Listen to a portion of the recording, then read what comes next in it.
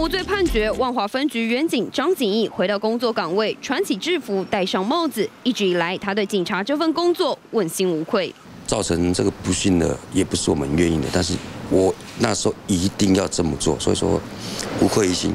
二零一三年八月，当时一辆黑色轿车冲进西门町徒步区，张景义在后头苦苦追赶，喝令停车。眼看范闲不理会，又想加速逃逸，他赶紧开枪制止。车子有速度之后，怎么样把速车子速度给阻挡下来？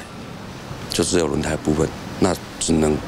开枪射击轮胎，但意外打死范闲，被以业务过失致死起诉。张景英历经四年多的官司缠讼，出庭将近三十次，每一次都很煎熬。和从前的模样相比，脸上也多了些皱纹，短时间内沧桑不少。但上午听见审判长宣判无罪的那一刻，张景英步出法庭，终于放下心中大石。刚刚听到审判长判决无罪这两个字。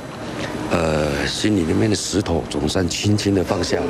当时我的职责是一个执法者，那现在这个判决就等于说，给我们一个执法者。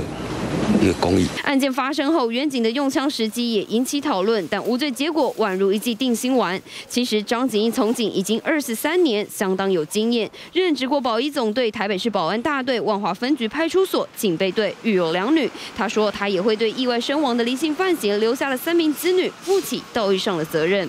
另外，张景义也提到自己的妈妈一得知儿子无罪消息，就着急着说要去庙里还愿，脸上再次挂起笑笑容，说这个年终于能。好好过了。